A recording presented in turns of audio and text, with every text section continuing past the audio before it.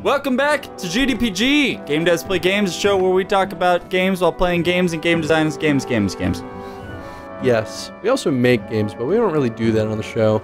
No, That, I mean, that is the name, right? Like, we actually do have people sometimes that are like, "So do you make games too?" Like, yeah, I guess. we don't really do that on the show. very much. That's a good point. All right, uh, so we're playing Banner Saga 2, the preview. The Uh, preview, which means is awesome. that it hasn't released yet, and we're playing it before it's officially released. Although at this point, It might be. Maybe it's already released? Mm, Maybe not. Maybe You'll- you'll know. You'll figure it out. All right, cool. So basically, what happened is I just had to like do another wave of fighting, kind of like in the first one when you're asked to if you want to kill a few more as in, they in flee. the warfare system, Yeah. yeah. except for in this case, it was like It was a- it either was a- sacrifice people or keep fighting them back. So, what decision am I going to make, really? Right. So anyway, it you was a hard fight because I was careless in the first round. Didn't think didn't think that this was gonna happen. So I basically had to just like push this guy to death because this purple purple one is really tough, and Avon with his attack power of 11 won it for me. it's so good. Well, you It's also ridiculous. you also had um, uh, Krumr that was just like untouched from the previous battle. walked walk up, up, and just like two people, like just brought him down, and then they immediately just hounded him. Like four people just took him down. uh, so Uh, I'm good. glad she got promoted because she went down. Glad well, we he got, a lot of promoted. promotions. Yeah. Mm. that is awesome. It's like I don't know. I, I- I feel like it was like, yeah, they're level one characters. I mean, they're not, but you know, they feel like level one. 18 renown. It's pretty good. Pretty good. That's really good. I mean, we did fight two battles, so it, I guess Some of be. I wish I could have read that. All right. Oh, that's weird. We might make it down the river to the capital without any more trouble. You look at Iver, surprised by his optimism. that is a little strange. and I might sprout wings and start flying. Thank, thanks, Iver. Thanks. Would that make up for the missing arm? Oh man, Rick, Rick has got some sass. he, he all of a sudden turned it around on Iver. hey, I gotta make jokes about losing my arm, not you.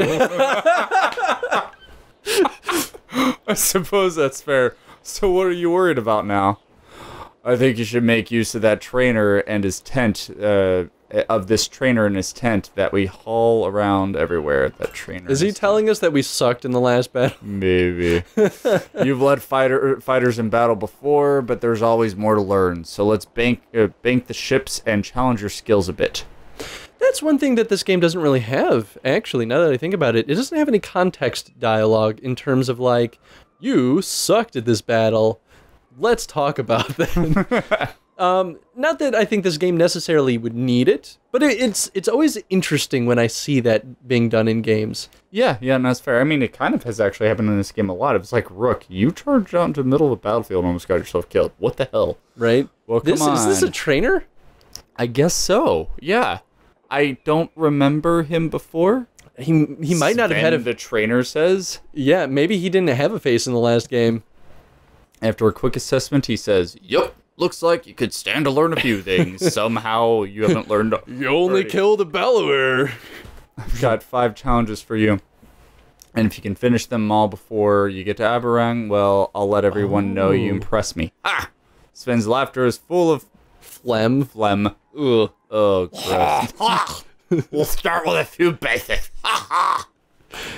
uh, feel I've I guess now I'm I just ready. imagine he's a heavy smoker, just like. Shall we begin? Then we begin. Sven barks. I couldn't hear you over the seven cigarettes I'm smoking. I like how he also be like is now from Boston. Oh, look at the. Oh, this is cool. They give you objectives. Okay, so form a shield wall. I think Kill this an is going to be using new. puncture. What's puncture? Okay, use I heavy impact to, to deal three damage to deal damage to three enemies at once. Okay, cool. Uh, click on the objective. So not only is it teaching us about the training tent, which Battle definitely objective. existed in the last game, but now we have objectives, which I'm starting to wonder if those objectives are going to be in all battles from now on. This might just be a straight up new mechanic. and not just a tutorial thing. It, you're actually that's a really good point. I mean, that's pretty So common with a lot of strategy this- games like this. We actually saw exactly this kind of thing in uh, Chroma Squad when Geekarius and I played it, and I thought it was really interesting there. But I'm curious to see if this is actually a mechanic in the Banner Saga 2. I want to see how it actually functions, Okay, so like uh, what the reward is, I guess. mhm. It's also interesting because we're using like no names in this battle and hacking. and Takken. I thought we were supposed to train Rook. Whatever. All right, so cool. We want to move Rook, him up, Rook was like, ah, they'll do the learning for me. but no. Ser- I just told you that you. Never mind. ah. Okay, so Stabby stab stabs. I guess it makes sense why you use hacking because you don't really have any other like no-name varls that just have heavy impact. That is sort of Hakons thing. Yeah, they also give you shield wall. Like we have M- Mu- Hugin and Mugen, so they Hogan and Mogan. Hogan and Mogan. You keep doing Dang this. it.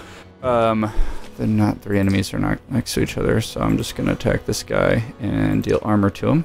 And There you go. Uh, just murder them when you finally deal the heavy impact. Hopefully, I can kill him with puncture. It's so mean. Oh, there you go. There we go. And can she use bird of prey to reach? Yep. There's one objective done. Kill an enemy using puncture. Oh, okay. Yeah, that's the one where if they've lost uh, armor. Okay, Uh-huh. okay. Uh-huh, uh-huh, uh-huh. Oh. Okay, let's go. So you need to find a way to lure those three closer to Hogan, or not Hakon. Hogan. it's 4 a.m. right now, guy. it is If, yeah, if you can't tell. late.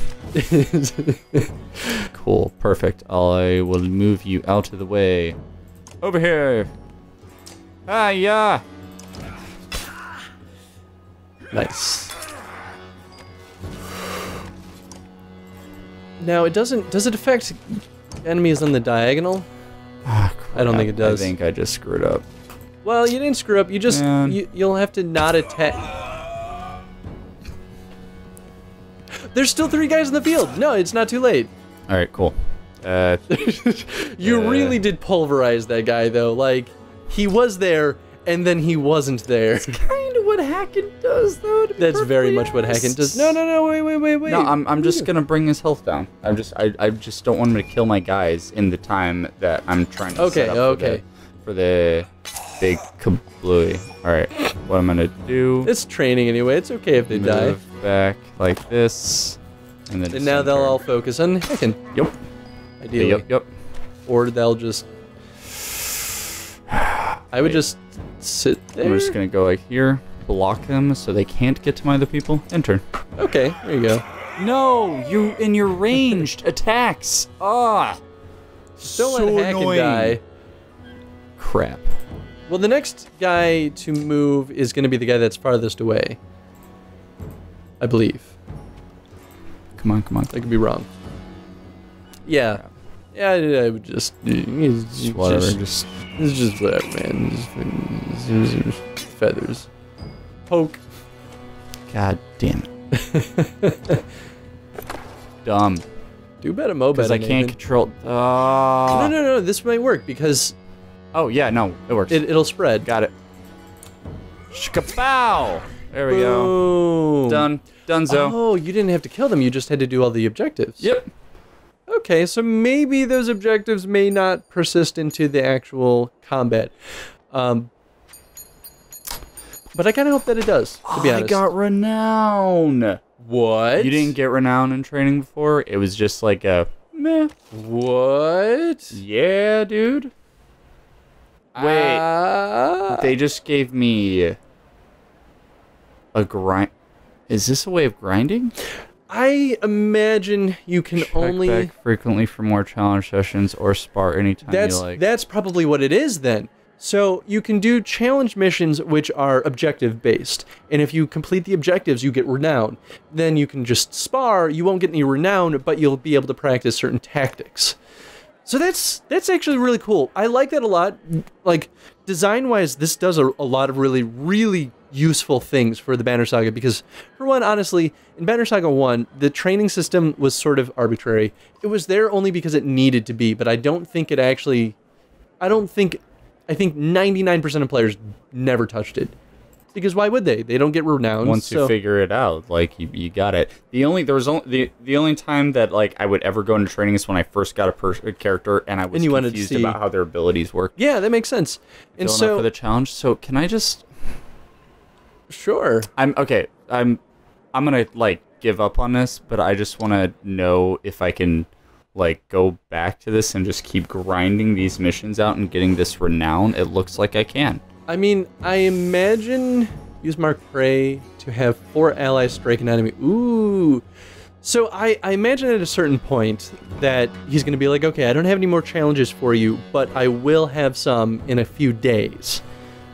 So it also sort of ties in the time system, or it could base it off of location too, for all we know. Yeah. Um, because otherwise, then you could just rest like crazy and then be like, and now we'll do some more missions. I, I yeah I I, I do cons- I am a, just a tad concerned just to hoping that they don't have anything like have it to where you can basically just pull off as many missions as you want to get the renown because that will totally it would break everything. it'll break everything Absolutely. it'll break everything in half. Especially because they give you a decent amount of renown for that. Like, how much did we get? Twelve from that last one. yeah which is is good enough that's that's Three, that's a good five. battle right there. yeah Um, one So I- I hope you're right three, that four, you don't grind. I need to be here um, that said, I do like that you can get renown from this because it is at least if you cannot grind, because it it sort of gives more weight to the training system. It sort of justifies its, its existence beyond just tutorial means. It actually Precisely, yeah. encourages players to explore these mechanics a lot better, which, even going back to the Pragmatic Saga playthrough, right? Where Harry Poppins was like, abilities suck, I hate them, and I'm never gonna use them. Sorry, Harry? Poppins. Uh, yes. In, Ugh. in less, uh, whiny babyish ways. um, but but that was his argument, right? That abilities were generally not very useful. And in some regards, he was definitely right. But in other regards, I feel like it was his lack of desire to explore them because there was no no safe place to do it that actually also rewarded you. So Yeah, it felt like a waste of time Exactly. So this encourages players because it's not a waste of time because you're getting renown and the player is learning these abilities that much better. It's it's the best of both worlds, honestly. I think whoever decided to do this is is a genius. Like they are a good designer, straight up. Like that's exactly what I would have hoped to see in the next iteration of this game. yeah I Um, just I am Just so I'm long as it doesn't grind. yeah that is that is my my major immediate concern with it is that is if that's a possibility then I'm Uh, I'm definitely like putting my my neck out there for Stoic's saying that they're definitely smarter than that. yeah uh, Um, yeah I'm I feel like there'd be a huge oversight if they did let the One, player just like two. we're gonna do these challenges infinitely and just max out all of our characters. Kind of soaks the fun out of it too if, if that were the case because it's like it's like the same reason you don't use cheat codes in games at least as an adult right i feel like you only use a cheat code if you want to explore different areas of the game after you've already played it but like if it's the first time playing through it you're not gonna use a cheat code because it kills the experience it's not fun anymore sorry I think I just failed I can't re not failed but one two three four five I think I'm one ally away from being able to hit everybody. do do ranged fighters are they affected by mark of mark prey oh yeah man I always had issues with it. Like some fighters just didn't respond when I used Mark Prey, and I was like, I don't understand.